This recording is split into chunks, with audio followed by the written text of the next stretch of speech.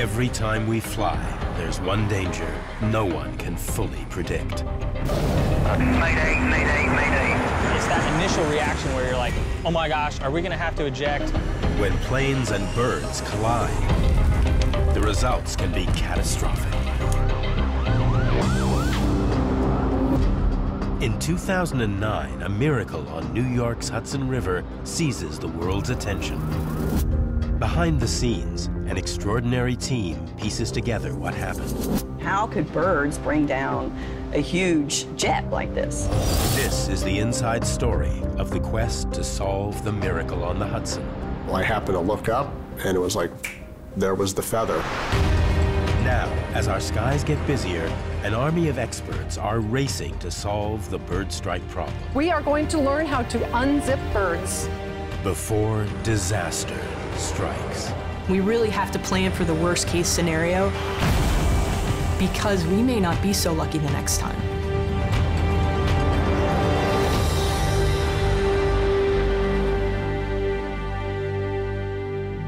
Eagle Flight 4718, contact departure 124.75. January 15th, uh, 2009, 3.25 p.m. U.S. Airways Flight 1549 is 95 seconds into its journey from New York's LaGuardia Airport to Charlotte, North Carolina. Very briefly, out of the corner of my eye, I, I caught a movement as I glanced left, and you could see a blob fly by the window. Uh, this is uh, Cactus 1539. Hit birds, so you've lost thrust on both engines, returning back towards LaGuardia. Okay, uh, you need to return to LaGuardia. Turn left heading up uh, 220. I realized by the dead silence we had no engine power. Cactus 1529, turn right 280. You can land runway Right. 1 at Teterboro. We can't do it. Okay, which runway would you like at Teterboro? We're going to be in the Hudson.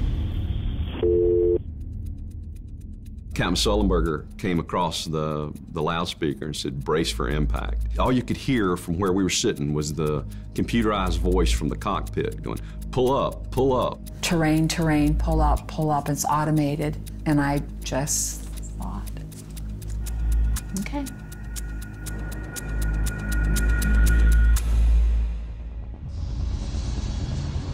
Within minutes, worrying news reaches Washington, D.C. I realized that something big had happened uh, in New York with an airplane and possibly a bird. And all of us got the chills. I just knew that when I got home and turned on the TV that there were going to be fatalities.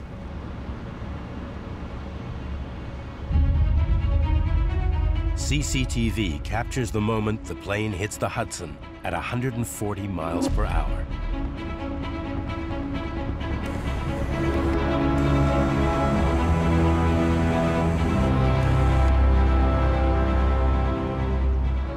Incredibly, all 155 passengers and crew survive the landing, and within 40 minutes, they're all safely on dry land.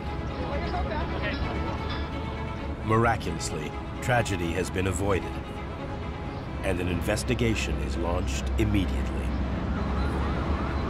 The world was waiting. A lot of people have never heard of bird strikes before this. They were wondering how could birds bring down a huge jet like this.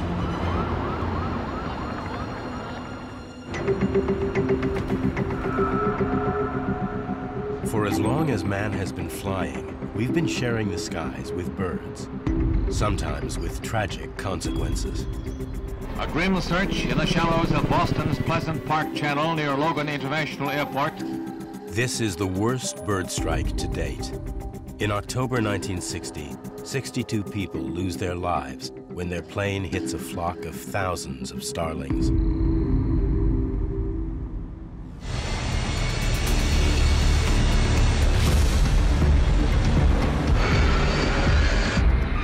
Since then, the number of flights globally has risen a hundredfold to over 100,000 every day. With the skies busier than ever, more and more planes are coming into contact with birds. And the results can be terrifying.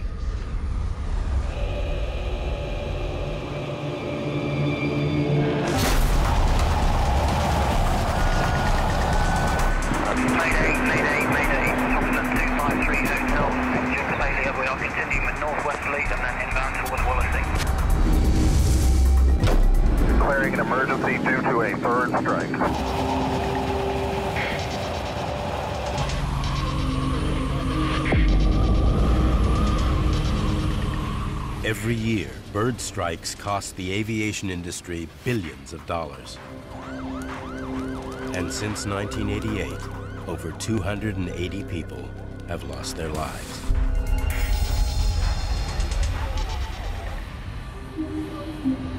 As flight numbers continue to rise, scientists around the world are searching for ways to avert potential catastrophe for planes and birds alike.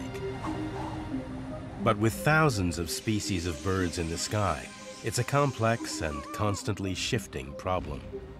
There's forces of nature that are larger than us. Wildlife are just dynamic. There's a lot of variables at play here. Every environment's different, every habitat's different, birds behave differently in different parts of the country. The species on one airfield may not be what's the problem on another airfield. And it's not just birds that come in all shapes and sizes. Depends on the aircraft type, the amount of damage that a bird can do. Getting to grips with the problem takes an extraordinary level of expertise and a very unique resource. This is a specimen of a Carolina parakeet. This bird was collected in 1879.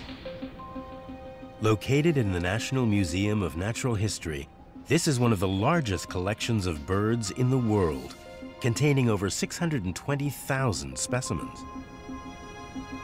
This is a bird that was collected by Teddy Roosevelt. This is his label from the Roosevelt Museum.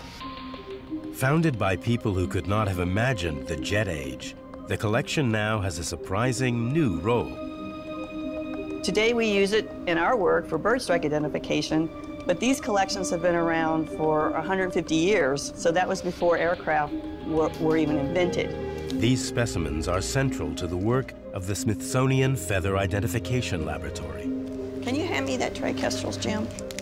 where a team of forensic ornithologists play a crucial role in understanding the bird strike problem, identifying which species of birds are involved.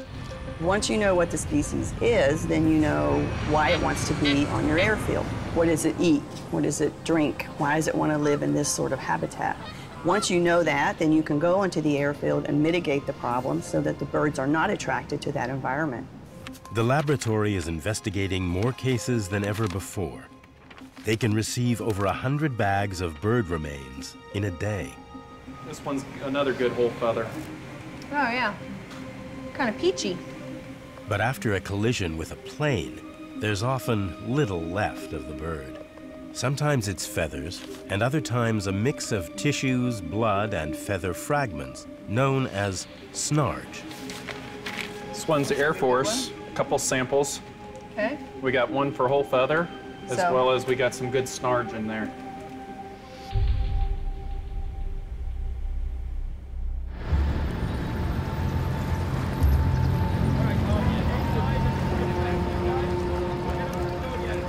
In January 2009, Carla's team faced their most high-profile challenge to date, working out what species of bird caused the event now known as the Miracle on the Hudson. But with cold weather hampering attempts to lift the plane from the river, would the team get hold of the vital evidence before it was too late? The worries were, of course, you know, the engines have been underwater, um, it's freezing cold there. Was it indeed a bird? Would there be any evidence left in the engine? Would it be degraded? Would there be feathers at all? So we were sort of worried about what kind of evidence we were going to receive and if it was going to be enough to get us to that species level. Huge cranes are maneuvered into position next to the submerged plane, ready for the lengthy task of hoisting the fuselage and retrieving the black boxes.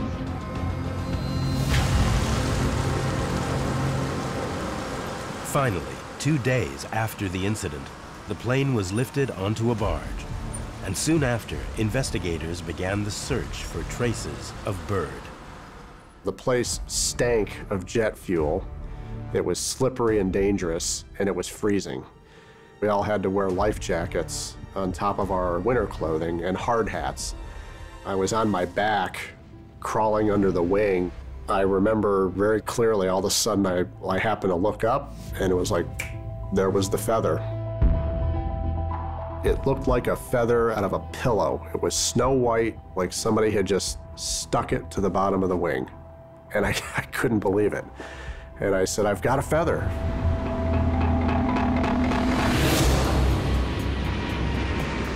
Thousands of flights still passing through New York's airspace every day, the pressure was on Carla Dove and her team to determine exactly what happened to Flight US 1549. So here it is. This is the evidence that we have archived for Flight 1549. Um, this case was a little bit different because we received about 69 different samples. Typically, in a case, we'll get a bag of remains or maybe two bags. The bags come labeled, um, usually with the engine number. So this material came out of the engine. Um, this is the date that it was collected. The most crucial piece of evidence and the team's starting point was the feather found by Michael Begier. We had this nice whitish sort of brown feather. And it has all of the important parts, which was really uh, exciting to us because the fluffy part of the feather is where we actually find the microscopic characters that are unique to groups of birds. Identifying the species from a feather is no easy task. 550 species have been involved in bird strikes to date, and each individual bird has a huge variety of feathers that change with age and the time of year. Fortunately, in this case, the team had a key clue, eyewitness testimony. Initially, we received reports from Captain Sullenberger that he had hit geese.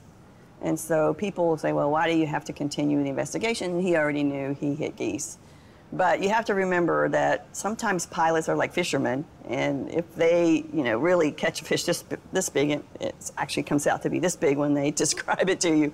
So we really wanted to confirm that. Narrowing down the possible culprits involved a technique pioneered in this lab and until recently practiced nowhere else in the world. Microscopic identification of feather barbules.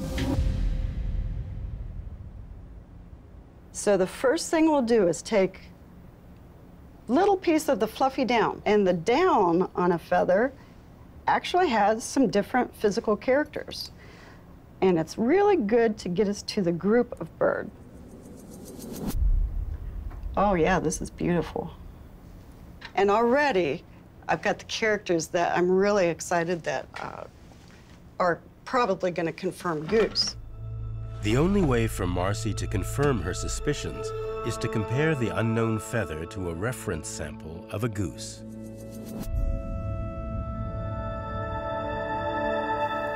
We're seeing almost identical characters. These beautiful triangular nodes that are kind of out at the tips of these really long feather barbules. Also the distance between the nodes. From our standpoint, that's a long distance, which is also very particular, which is kind of exciting, of geese. The microscopic evidence has led to the family of birds, but it also provides another clue. It's showing some very subtle stippling pigment. It's a little hard, looks like little tiny dots that we see in the Branta genus. The team were now looking for a goose of the Branta genus. But in the New York area, this means one of two possible culprits, the Canada goose and the Brant. Determining which one had brought down flight US 1549 was crucial. The Brant goose, that bird weighs about three pounds. Um, the Canada goose weighs about eight pounds, 10 pounds. So knowing the weight of the birds that went into the engine was very important to the engineers because those engines on that aircraft were designed to take a four pound bird. So if it had been a Brant, then the engine should have been able to continue to fly. The miracle on the Hudson led to a huge increase in bird strike reporting and to 400% more work for Carla's team. Today, they process 10,000 cases every year, and half of them don't come from commercial aviation, but from the U.S. military. This is Joint Base San Antonio, Randolph, in Texas. I've flown numerous places around the world. Birds are sort of an issue, and we always think about them at any base. But I got to Randolph and immediately noticed, just flying around the pattern, that holy cow, there's a lot more birds here.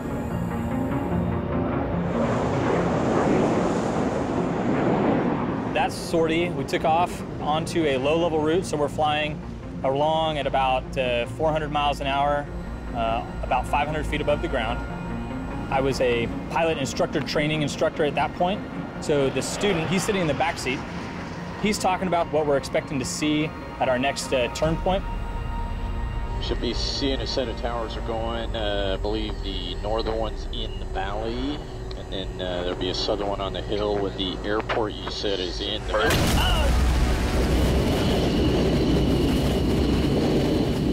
All the right side, basically, of the canopy itself is gone. If you can imagine, you know, you roll your window down on the freeway at 60 miles an hour and you get all this wind noise. We're doing almost 400 miles an hour. The body of the bird ends up hitting the backseater, my student, in the shoulder. Where you said is in the bird.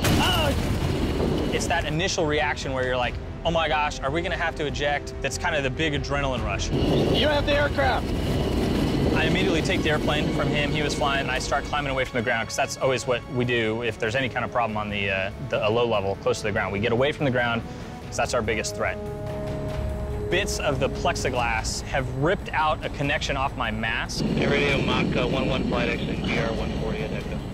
So I'm making all these radio calls. Nobody can hear me, and eventually the backseater, the student, is going like, "Hey, can you hear me?" And I'm able to very carefully give him a thumbs up. I mean, I don't want to stick my arm up too high and, you know, have it hit in the 400 mile an hour, 300 mile, by this point, mile an hour wind and ripped off, and, or, you know, dislocate my shoulder or something. So I'm like, yeah, okay, I can hear you. Okay, okay. I'm good. I'm good. I start dialing in our navigation aids to go into Kelly Air Force Base, or Kelly Field, uh, on the west side of San Antonio. We land, I taxi clear the runway, and we shut down there. Uh, and at that point, we're able to uh, unstrap and kind of take a look at the damage um, and stand up there. And there's just, you know, the bird blood and guts are all over the back cockpit.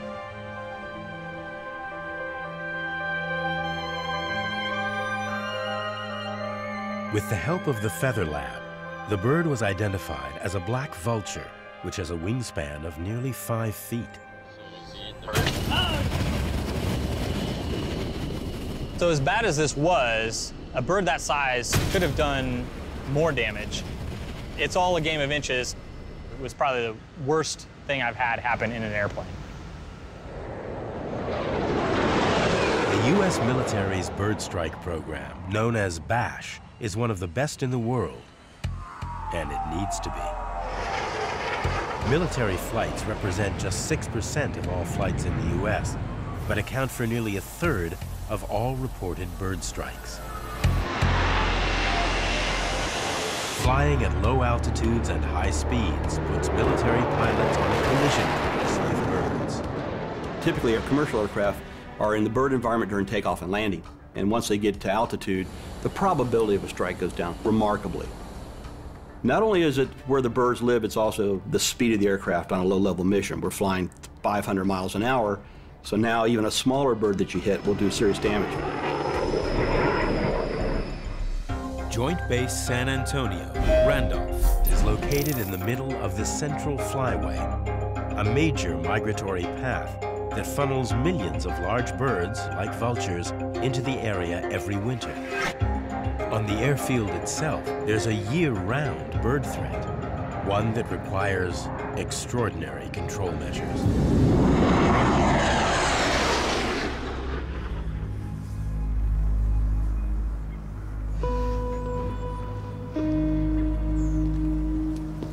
Can take weapons off safe, charge away. Every morning at dawn, a team is dispatched from the base safety office armed with paintball guns. All right, I'll take the outer right corridor. I'll take inner right. Let's branch off. Their mission to remove a threat in the center of the base that could halt flying operations. You see one running for his life now. Look, we got a couple here. This area yep. between the base's two runways is home to about 50,000 white-winged doves. So we don't want to hit the birds, but we want to hit near enough to them that they know, don't stay in this tree. And sometimes they like to mess with us and just hop from tree to tree. I'm okay with that. The team's goal is to get as many of these white-winged doves off the base and away from the runways before flying operations start. We have a small flock right here coming over the runway right now. We have an active runway with T-38 trainers coming across. Most of these birds are going to be anywhere from two, 300 feet up to maybe five, 600 feet up in the air, right at the same altitude as our planes are launching. To keep their pilots safe, the biologists on the ground have studied the behavior of these birds in detail.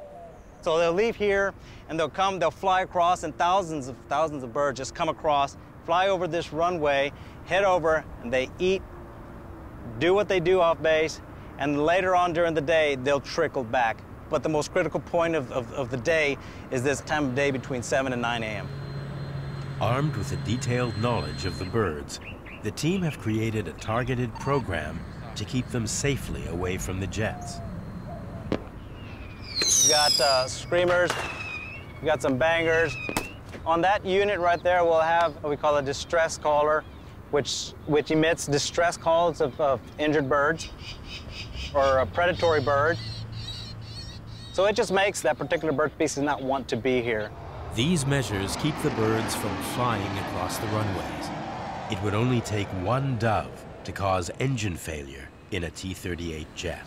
Right, as you can see down here in the engine, you have the first stage of blades. Those blades right there are not the only ones back there. You have about another 10 to 15, even 30 stages of blades spinning at high speed. Now, if one of those blades gets hit by a really small bird, it will let one of those blades go and liberate it from the rest of the engine and then cause it to go down the rest of the compressor stages. That's really bad. It's not just an airplane that's flying through. There's actual people that I work with on a regular basis here that are flying these planes. So it's my job to keep these birds out of their flight path. Since the early 1980s, the U.S. military has been gathering data on every one of their bird strikes. In 1990, commercial aviation followed suit, launching an ambitious project, the National Wildlife Strike Database. Since then, more than 200,000 strikes have been reported. You cannot solve a problem you do not understand.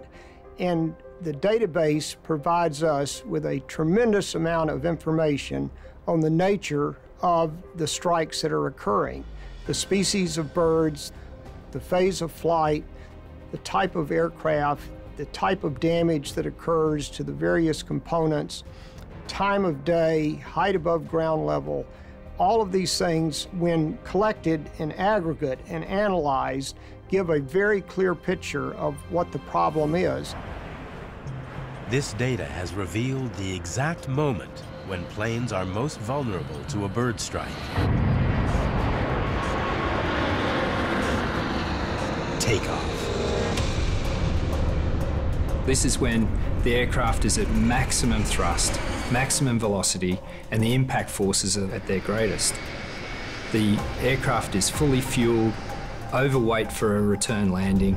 All of these factors mean that it is much more likely that if you have a significant strike on takeoff, then you may result in a catastrophic outcome.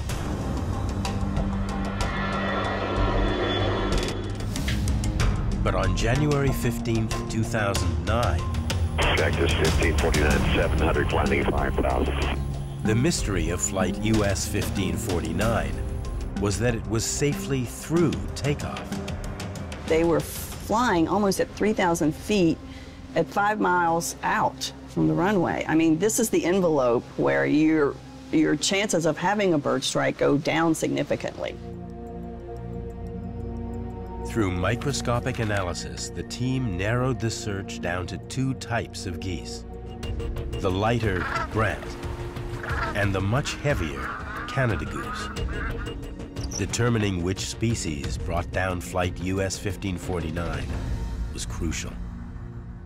Here we have a museum study skin of a Canada goose. Comparing feathers to a specimen like this um, is very important because birds have tens of thousands of feathers on their body, and there are a lot of variation in a single individual.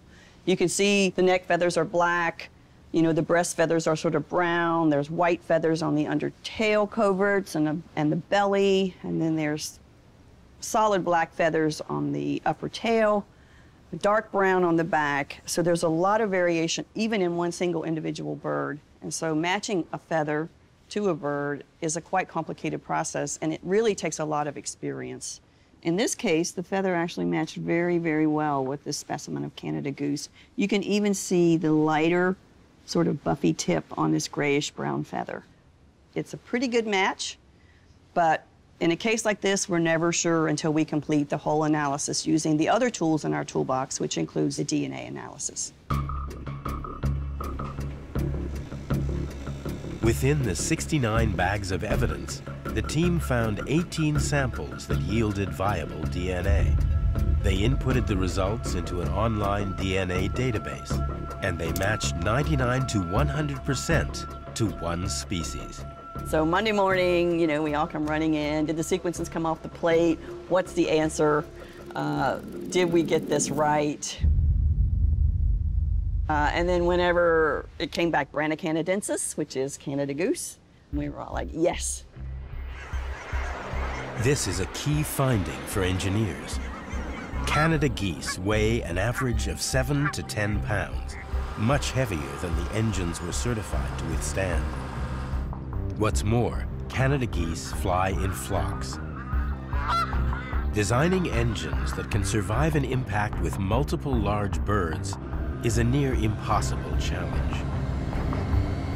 The engineers tell me they could design one, but the plane probably wouldn't fly, and it would be too heavy or inefficient, or it would have such poor fuel efficiency that no one would use it. So it's just a very difficult balancing act of designing engines that are fuel efficient and also able to withstand flocks of birds. But it's now more important than ever that engines can withstand a bird strike. As the jet age dawns, most large commercial aircraft have three or four engines. Today, 96% have just two. When you have an impact to an engine and you lose an engine, obviously you have four engines, you have three others that are still flying, working order. If you have two engines, you lose one, it's a little more difficult. And we know from US Air 1549, if you lose two engines on a two engine aircraft, you essentially become a glider.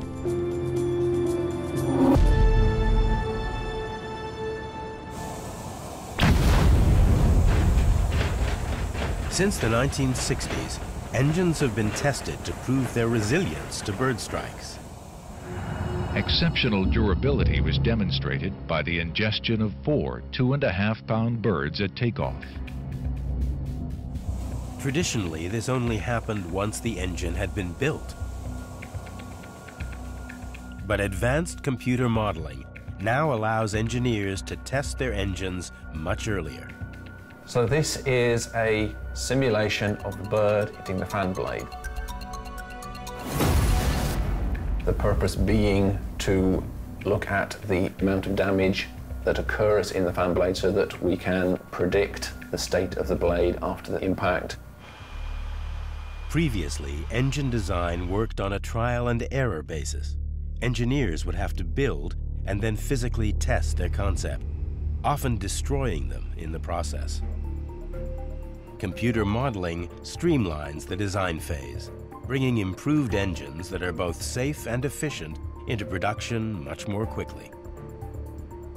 So we see the blade deforming, we see quite a lot of permanent change of shape, but it's predicting while there's a lot of damage to the blade, the blade itself has stayed intact.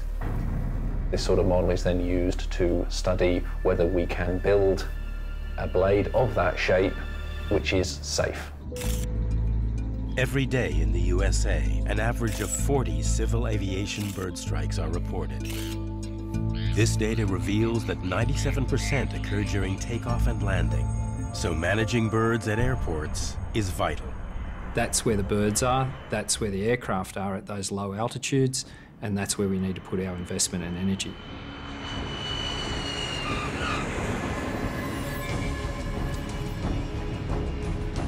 But no two airports are the same. Each offers a unique habitat to birds. This is Portland International Airport, and it's an attractive hunting ground for birds of prey. So the west end of the airfield has been a known hotspot for red-tailed hawks. So we identified the need to trap and translocate raptors out of that area. So we're heading that way to activate a trap. Hey, Nick. So I think this is a really good spot because we've had that unbanded adult over here hanging out on these towers and on here and kind of on the fence line. It might be a good opportunity to get that one person or that one hawk that's been sitting here for quite some time. So give me a hand pulling this off and we'll get the doors facing the fence. All right, good. I got the lures. You want to grab the food and water? Yeah, I got it. After a series of strikes, the team identified the red-tailed hawk as a key species of concern. And every spring and fall, thousands of them pass overhead on the coastal migration path known as the Pacific Flyway. This being the largest grass habitat in the whole metropolitan area, birds are more likely to stop here. The river systems act as a corridor too, so birds can move up and down these river systems. So geographically, it's like a map that actually helps them locate and find uh, this particular site. And with 19 million passengers going through the airport each year, keeping birds out of the path of planes is crucial. During a typical migration season, the team capture up to 80 red-tailed hawks. For lures, we use their European starlings. We've also used pigeons in the past, but pigeons just tend to, to sit and not make a lot of movement, where if you put a few starlings in here, there's a lot of frantic movement. So the idea is you drive away and the hungry hawk comes through, sees this activity down there and looks at it, oh, hey, that's a pretty easy meal. So they come down, sometimes they'll go around the sides of the trap, sometimes they might perch on the peaks or the, or the, the doors here, but the idea is once they come down going for the birds, they hit this trigger stick or they perch on it, and then the trap closes, and now the, the hawk is trapped inside with loose netting, so it's not so stiff that they end up hurting themselves. All right, thanks, Nick. Thanks for your help. I'll check it back in a couple hours. Sounds good.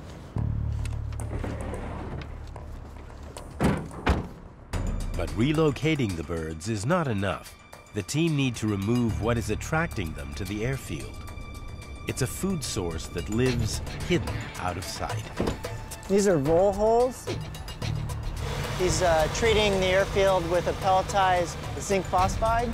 So the idea is to control the small mammal population, mainly the gray-tailed vole. We're trying to reduce that so we can reduce the overall attractant to the airfield.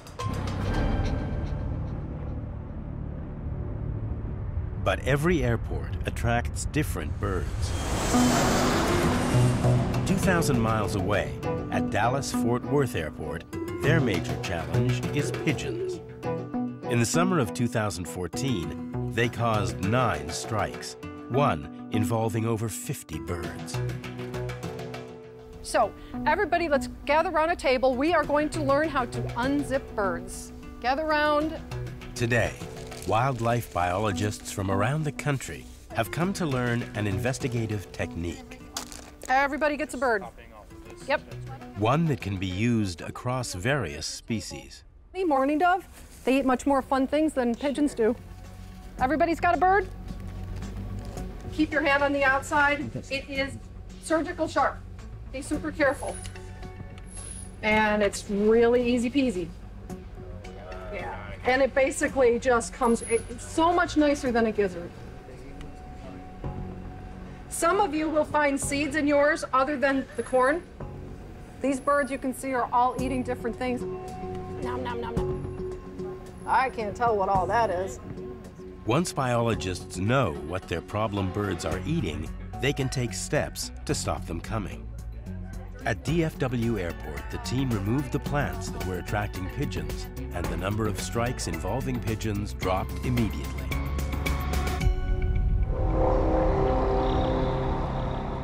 Back at Portland, it's peak migration season, and the traps have been busy. We have five red-tailed hawks. They're all hatch-years. They're caught within the last two days. We're gonna uh, band and wing tag these birds. Before relocation, the team collect vital data about the hawks. 366, uh, 250. By building a picture of the age and condition of these birds, the team have a better chance of keeping them away from the airfield. So he's um, X over T. He's still a kid. And this bird probably didn't grow up here. He's probably a migrant. So we're into the migration season. So he may have already come down from Canada, or he may have moved up from California, Um, because these kids will move north and south initially. The younger birds are less likely to come back than older birds. We're gonna do our best to take him to a more suitable site. Hopefully he stays away from airfields. That makes it me. All of the hawks receive an easily visible wing tag. So for us, we're trying to track return rates and learn a little bit more, again, about these particular birds. And we do engage the public through a website, so there is opportunities for the public to submit locations if they see these birds. With the nice wing tags on them, they're easier to spot and identify. Uh, I want to get a nice front and back shot of the bird. Bird XT is now ready for relocation with the other captured hawks at a carefully chosen site. Awesome. Okay.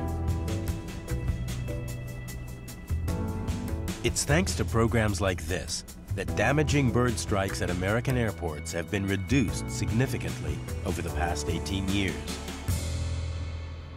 But the task is getting harder. Not only are there more planes in the air, there are more large birds, too. The major challenge we have with bird strikes today in North America is that we have seen a tremendous increase in the populations of most of our larger bird species. Several of the species have been very good at adapting to our human environment. And so things like Canada geese have been able to live among humans, take advantage of fertilized lawns in these industrial parks. They've moved um, to areas where they're able to survive um, throughout the winter and live there year round. So that's become a problem.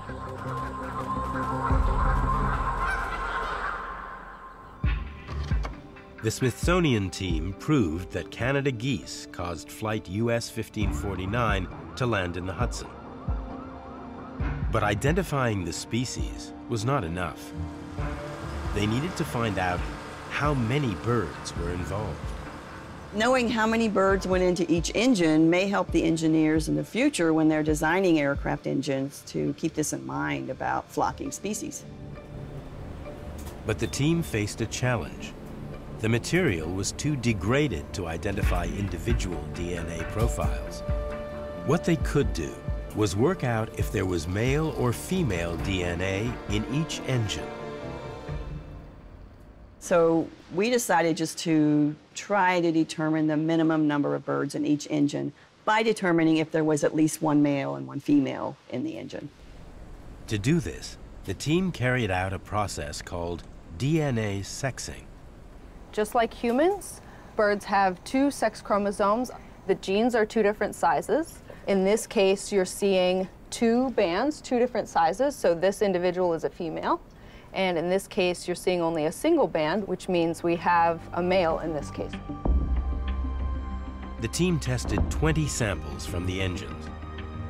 In the right engine, they found only male DNA.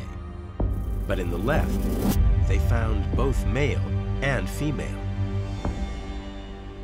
That allows us to know that we had a minimum of three Canada geese that were ingested into the engines of that airplane. This was a crucial finding for the engine manufacturers. No aircraft engine on the planet can maintain thrust after a strike from multiple eight-pound birds. But for biologists, it was the beginning of a new mystery. Was this flock of geese a local population, or were they migratory? Why were those birds there? They hit those birds at 3,000 feet. That's pretty high. Not likely that birds very close to the airport would spiral their way up into the atmosphere to 3,000 feet and then get hit by an airplane. But January is not a time when Canada geese usually migrate. So what were these birds doing up so high at this time of the year? Um, it didn't seem right to us. The hunt for answers led the team to a complex technique that has never before been used in a bird strike case. One that searches for clues to a bird's history in its feathers. Birds, in particular Canada geese, they move to the north in order to breed. When they get to their breeding grounds, they're going to molt. That means they're going to drop all of their feathers and they're going to regrow their feathers in that location. Whatever an animal eats or drinks, in the case of the birds, is going to be incorporated into the feather. It's the adage you are what you eat minus what you excrete. The process is called isotope analysis. This tiny piece of feather is then weighed and thermally decomposed, and the hydrogen within it converted to gas. The gas is then analyzed in a mass spectrometer, which should give clues to the bird's location. Areas further north in latitude have much lighter hydrogen. Areas further south have heavier hydrogens. The team tested Canada goose feathers from several locations to compare with those from Flight US 1549. Feathers from the resident New York geese weren't a good match. A much closer isotope signature was found in feathers from birds collected thousands of miles to the north in Canada. So we're pretty convinced that those geese that entered into those engines were a migrating population from the Canada region. It is most likely they were not part of the local uh, New York City resident population of geese.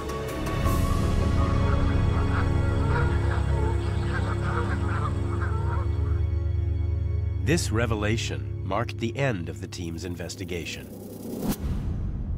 And what it reveals makes an already difficult problem even tougher. We need to start focusing now on migratory populations of large birds. Where are they? How can we predict them? How can we find them? Is there any tools that we can use that helps us locate these large flocks of migratory birds? Migratory geese are a little bit harder to manage and you have to manage them in different ways. Resident geese often stay in the local area. They'll only travel generally about three miles or so from the original site, maybe where you first observed them or banded them. That's much easier to follow and track and monitor. Migratory geese may be at higher altitude and we don't know exactly when they're going to migrate through.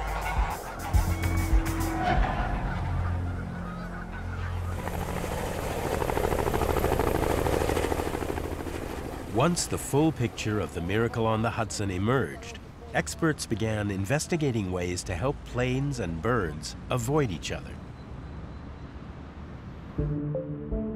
Departure Randolph, Sui 1's rolling D. In 2015, Joint Base San Antonio Randolph rolled out new technology in their control tower. When we have the full flight operations going, this is one of the busiest airfields in the United States. We watch bird activity as much as we would watch the weather. The base's biggest bird challenge is the 50,000 white-winged doves that nest in between the runways. So our biggest tool that we use to monitor bird activity is uh, our bird detection system, our BDR bird detection radar. Currently, right now, the way the system is set up is to uh, capture the mass or the size of a dove. So every triangle you see right here is an actual bird flying right now over our airfields. When we hit a certain level, like for example, this, this yellow line right here, it's about 600 birds in the area. we hit that, we're going to start changing the way we operate. So as you can see, we have a T-38s right here taking off right now. Uh, you can see the first aircraft taking off, and then shortly right behind him is uh, his wingman taking off following that. Normally, they'll take off together at the same time, right next to each other. However, right now, because of the increased bird threat that we have in the area, we're doing uh, interval takeoff to help prevent them from being close to each other. They can focus on flying the plane, and if they have to dodge a bird, uh, they're able to do so without being right next to their wingman. And since implementing the bird radar and using that data to change our operations, we have seen a significant drop in bird strikes. Bird strikes of the white-winged dove were over half of our strikes. This year, right now, so far, we only have about 5% of our bird strikes directly related to what the white-winged dove. As well as carefully tracking and removing birds, scientists are also trying to figure out how to help them steer clear of planes. Birds are not suicidal. They want to avoid an aircraft, but modern aircraft make it more difficult for them to do that than the older, noisier, slower aircraft did. Since the 1970s, lights have been used on planes in an attempt to counter this problem. But not all birds see in the same way, and using the wrong color light can actually attract certain species. An experiment run by Purdue University and the USDA approaches the issue from a totally new perspective, the birds themselves. So the way birds see is very different from the way humans see. Uh, and those differences are based on the fact that birds have four different types of visual pigments, while humans have only three different types of visual pigments. So what that means is birds can see more colors than we do, actually colors that humans cannot even imagine. The first species the team study is the brown-headed cowbird. They start by finding out which colors are most conspicuous to cowbirds by microscopically examining the bird's retinas.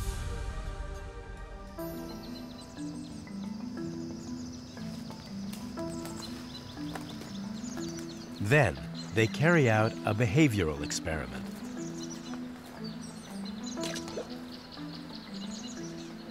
So what we do is we start the bird in here, we release the bird into this arena, and it's either going to go left or right. And what we have is a single choice design, which is very good for testing for avoidance. Today, the team are testing red lights. They know it's a color that's highly visible to the cowbird. What they don't know is if the bird will avoid or be drawn to the light.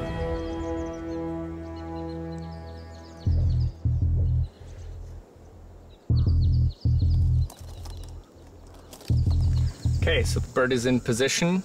Our camera here is recording the trial, and we're about to begin. So we just open the door and release the bird.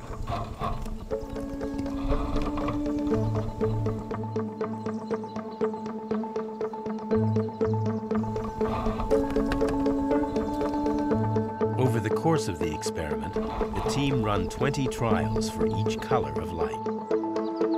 Each of these trials involves 20 different cowbirds. In this trial, 13 birds avoid the red light.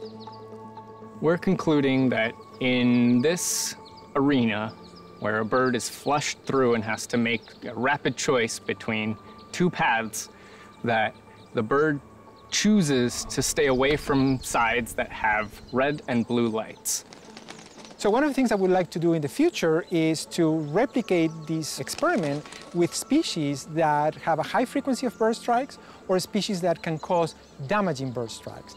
As we get more and more results, the idea is that we can talk to manufacturers in order to develop lights that could minimize the chances of collisions between uh, aircraft and birds.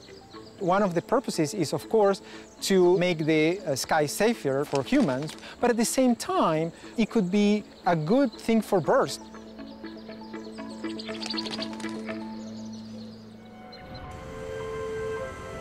The miracle on the Hudson could so easily have been a catastrophe. We really have to plan for the worst case scenario because we may not be so lucky the next time. In the future, our skies are only going to get busier, which means bird strikes will remain an ever-growing threat. Will we ever solve this 100%? The answer is probably no, but can we reduce it greatly? Yes. Even though we're flying more and we know there are more large birds in the atmosphere, we've reduced the amount of damaging strikes. We've measured that, we know this for a fact. We are determined to help the people on the ground who are fighting this problem. We need to continue to identify the species of birds that are causing these problems. It's going to change in the future. We have to fight this for birds and for mankind.